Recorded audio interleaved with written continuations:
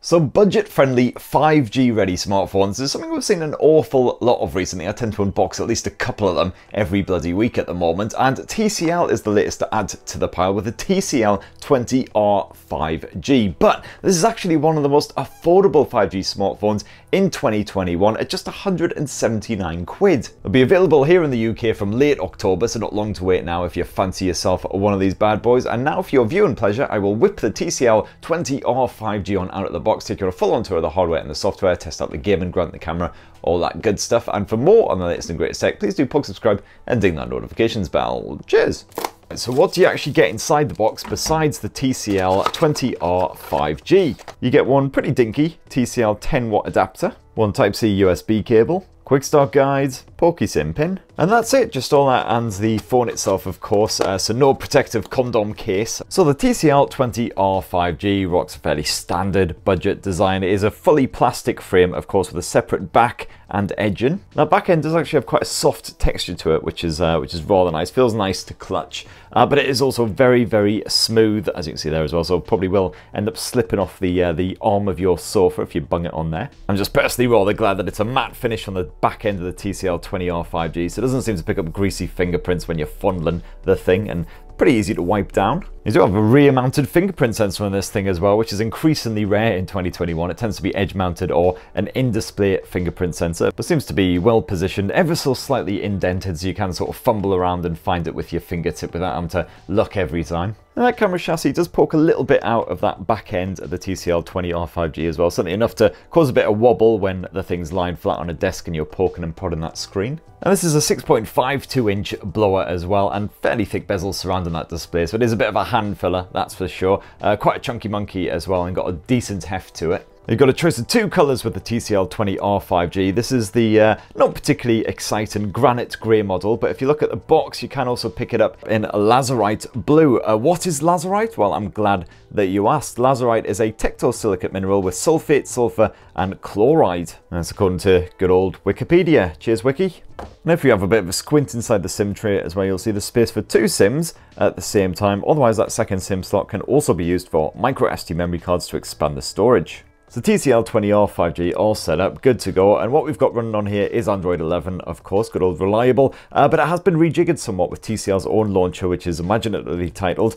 the TCL UI 3.0. So on the surface, it does look a lot like stock Android. Uh, and you do have your Google Discover feed uh, right there when you want it. You can drag down the notifications bar from anywhere. You'll notice that this has uh, a lot of extra toggles uh, thrown in there, which you don't get in standard Android, the likes of mini notification, one-handed mode. And that one-handed mode definitely does come in very handy indeed. Uh, certainly if you want to reach up anywhere near the top end of your apps and other shenanigans. You'll spy as well that if we go into the apps tray, it is all ordered by uh, category, so communication, media, utilities. But if you're not a fan of that, you can quickly and easily uh, rearrange it just back into alphabetical order. And you probably notice that there's a lot of stuff uh, that comes pre-installed on here. I've downloaded a few bits of my own like Disney Plus and Deezer. But with the TCL UI launcher, you've got a second browser for some reason. You get crapware like Booking.com and Facebook chucked on there. And some of these apps like the Smart Manager are perfectly fine. They do help to uh, clear out some of the uh, the memory cache and some of the storage as well if you've got lots of crap that you've uh, downloaded and then forgotten about. Now, if you jump into the TCL 20R 5G settings, it's mostly stock Android stuff, but with a few additions of TCL's own. So if you dive into advanced features, for instance, you've once again got that one-handed mode, you've got a screen recorder tool, got a remote lock feature in case you happen to lose your device, you've got the game mode as well, which I will touch on in a bit. And apparently the TCL 20R 5G is Android Enterprise recommended as well, which basically means that TCL guaranteed you'll get a couple of major updates on this thing and also timely security patches. Not sure exactly how many uh, Android updates uh, you can expect, but I'd be very surprised if it didn't get Android 12 uh, towards the end of this year, probably start of next year actually, and then Android 13 after that as well. Let's see the power button and the volume rocker here on the TCL 20R 5G. I do feel like they're wedged a little bit too close to the center. I'd prefer they were slightly further up and slightly better separated as well, uh, especially considering the fingerprint sensor is actually quite far up that back end. But the good news is you don't even need to touch the power button. You can just basically finger that sensor and as you can see there you are straight into your desktops. And that really is remarkably quick for a, uh, a smartphone under £200, very impressive indeed. And you do also have a face unlock feature which you can use as well, just swipe up I'll scan for your mug and again straight in.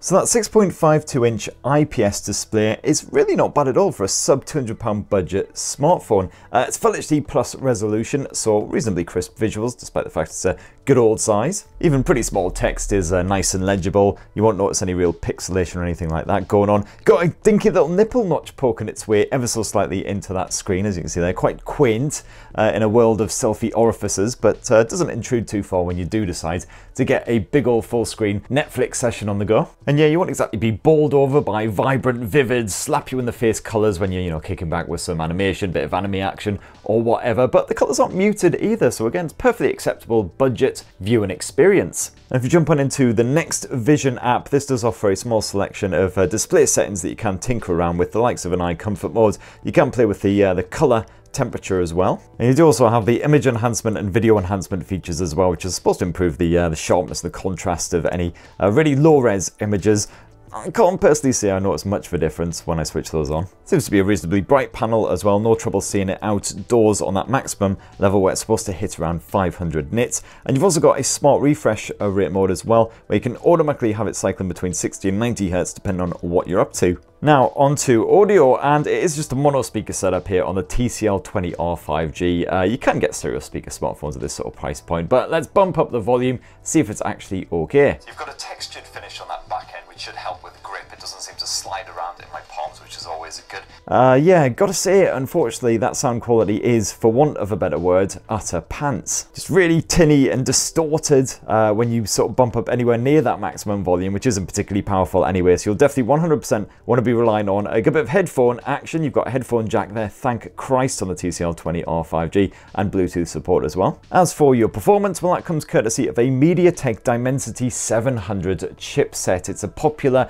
budget-friendly 5G uh, platform because it comes with the built-in 5G modem. And so far, touchwood, everything seems reasonably smooth here on the TCL20R 5G. Occasional little judder here and there, but exactly what you would expect for a sub £200 budget phone. No real shocks or surprises at all when it comes to the benchmarking. As you can see, they're pretty standard Geekbench scores for the Dimensity 700. And as always, just going to quickly test out the gaming chops here on the TCL 20R 5G with a good bit of Call of Duty action. You do have the game box, uh, which basically just helps to collect all of your games together in one nifty space. you've got a couple of bonus gaming features like blocking notifications quickly and easily. You've got your game turbo mode as well. And certainly, if you just want to do a bit of simple gaming on the likes of Call of Duty Mobile, PUBG, uh, things like that, then the TCL 20R 5G will do the job absolutely fine. You are limited to the more sort of medium detail settings and frame rates, uh, but certainly the frame rate stayed consistent. I didn't notice any judders or any serious performance issues while I was uh, playing, and the TCL 20R 5G stayed nice and cool as well, which isn't surprising because the MediaTek Dimensity 700 is nice and energy efficient. You got 180 Hz touch sampling support here as well, so every poke and swipe certainly instantly registered, no worries on that front. So yeah, again, if you want to do a bit of light gaming on the side, it'll do the job. And no issues with connectivity either because you've got that 5G support. That's actually spread across both SIMs as well, thanks to the Dimensity 700. And you shouldn't have a problem with battery life here on the TCL 20R 5G either. You've got a 4,500 mAh capacity cell crammed inside uh, this uh, gorgeous granite grey chassis, and uh, that should keep you going all day long because certainly I've been playing on it for a good two and a half hours now. Uh, you know, streaming media, good bit of gaming, all of that good stuff, and it's only trickled down about sort of 15% in that time. It's definitely helped along again by the fact that you've got that energy efficient platform running the show. Because this TCL blower ain't the fastest when it comes to recharge, and there's only 15 watt fast charge support and you do only actually get a 10 watt adapter bundled in the box so you're going to have to provide your own adapter if you want to maximize the charging speeds. And last up, that triple lens rear camera slapped here on the back of the TCL 20R 5G. Don't get too excited by the fact that it's three lenses because one is a 2 megapixel depth sensor, the other is a 2 megapixel macro,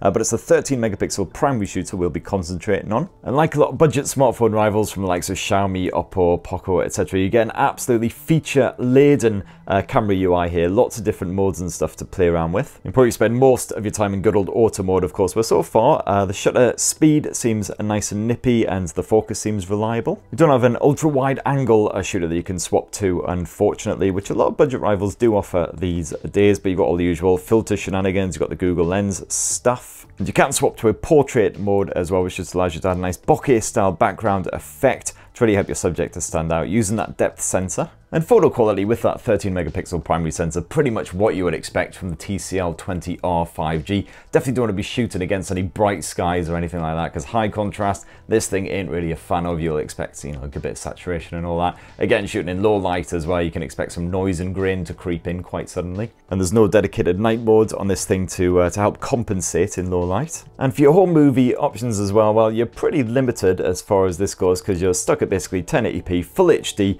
at 30 frames frames per second. There's no 60 FPS option. There's definitely no 4K resolution. And if you are into your selfies, well, you can expect pretty basic results from the 8 megapixel selfie shooter here on the TCL 20R 5G as well. Nothing particularly outstanding there, just simple shareable shots is pretty much what you're limited to. Don't think I'll be sharing that little beauty there though. This is one of the many reasons I don't bother with Instagram. So there you have it in a nutshell, TCL 20R 5G, 179 quid, hit in the UK late October, one of the most affordable 5G smartphones out there. Doesn't do anything particularly new or fresh or original or exciting indeed, but it looks like a solid all-round blower. If you're just after something that can, you know, handle a good bit of media streaming, maybe a bit of light gaming, it's the most demanding sort of tasks, uh, and apart from that, just an all-round dependable effort, hopefully, touch wood, will do the job. So what do you reckon about the TCL 20R 5G? Be great to your thoughts down in the comments below. Please do pug subscribe and ding the notifications bell for more on the latest and greatest tech and have yourselves a fantastic